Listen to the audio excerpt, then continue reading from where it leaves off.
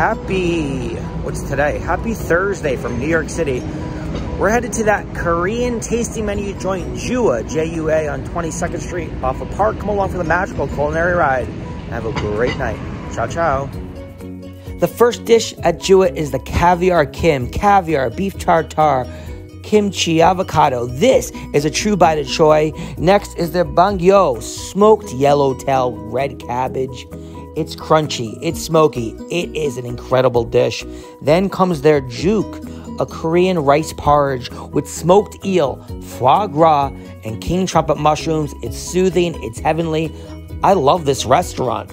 Then is their Arctic char, perfectly cooked fish with this beautiful sauce. Jua, have I told you I love you? Because you are incredible. After the Arctic char comes their duck and chan. Their take on banchan, little bites of joy.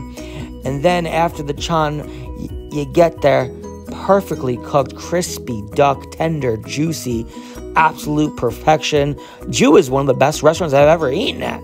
And then for their first dessert, you get their goguma, brown butter ice cream, sweet potato espluma, and tapioca pearls. And then you end with their Korean sweet pancake. Jua is pure magic. I actually love you. You're amazing.